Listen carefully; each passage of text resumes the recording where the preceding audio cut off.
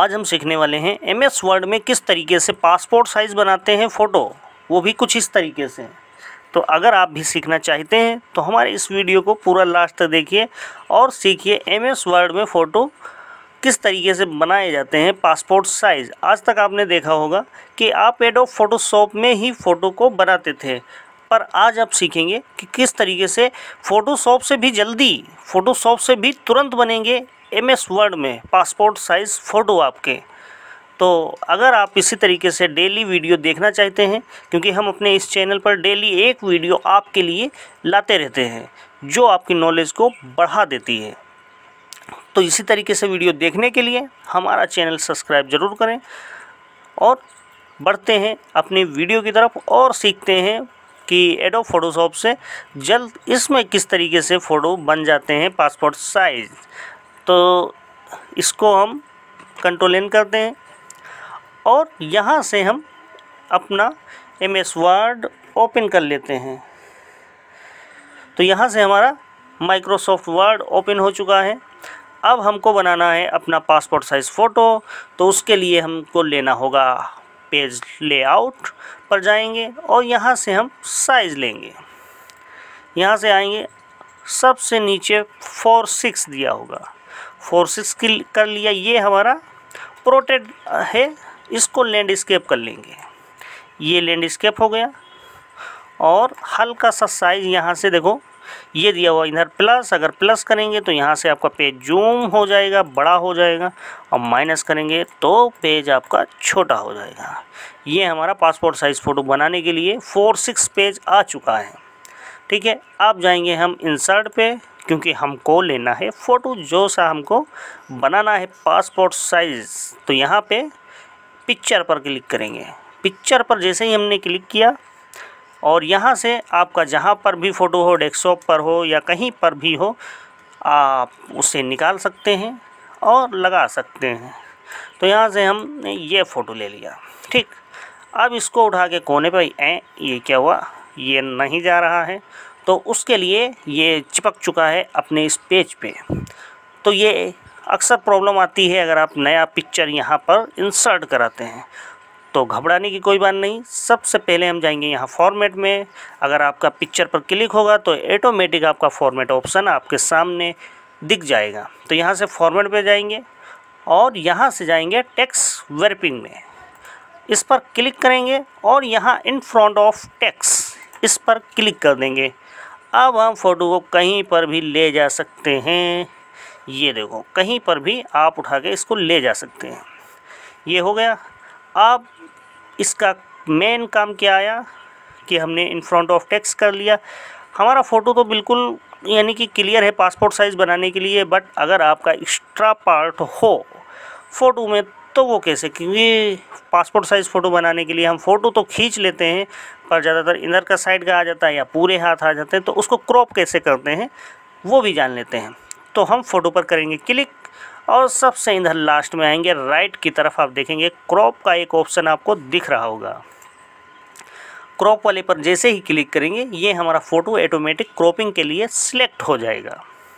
अब इसको हल्का सा हम इस तरीके से अपने हिसाब से क्रॉप कर लेंगे। ऊपर से, नीचे से साइड से, और कर देंगे कीबोर्ड से हम इंटर तो यहाँ से हो चुका है।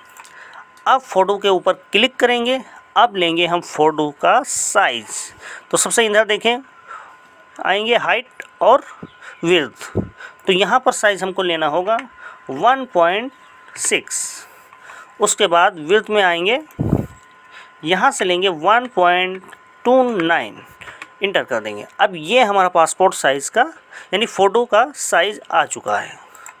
ठीक है? ये हमारा आ चुका है। हल्का सा ऊपर उठा के इसको रख देंगे। उसके बाद इसमें लगाना है हमको बॉर्डर तो यहाँ आएँगे। ये देखो फॉर्मेट पर क्लिक होना चाहिए। फ़ोटो पर क्लिक करेंगे तो ऑटोमेटिकली आपका पिक्चर बॉर्डर शो करेगा। तो यहाँ पर सबसे नीचे आएँगे। ठीक है? यहाँ पर आप जैसे ही जिस, यानी आउटलाइन वाले पर आप माउस को ले जाएँगे, बिना क्लिक किए हुए माउस को ले जाएँगे।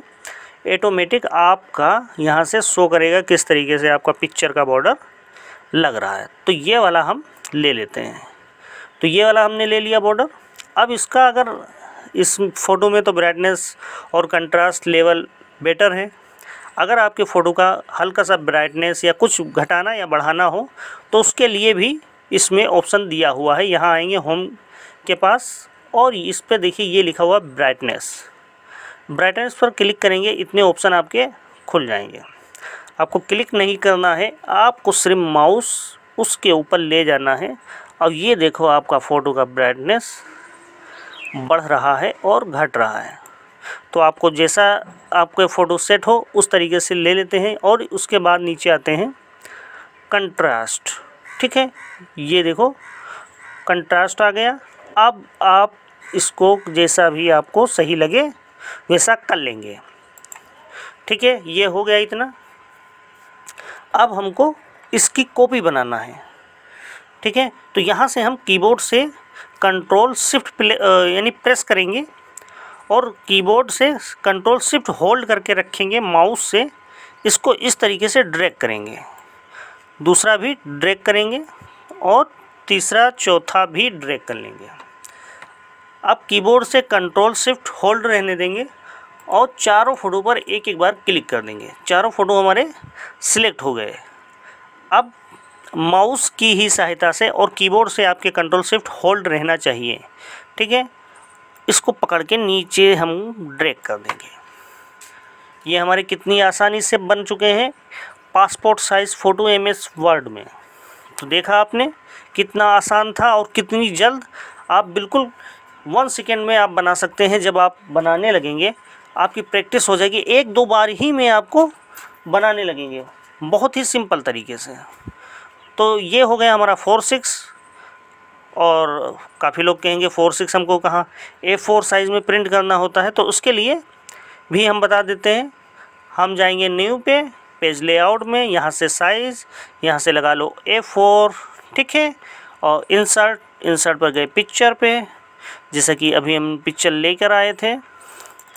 क्योंकि होता क्या, नए लोग होते हैं तो उनको ए फोर साइज़ ही में फ़ोटो पेपर उनके पास होता है तो वो कंफ्यूज हो जाते हैं कि फ़ोटो पेपर पे हम फ़ोटो यानी कैसे प्रिंट करें। तो उनके लिए प्रॉब्लम अक्सर ये आ जाती है।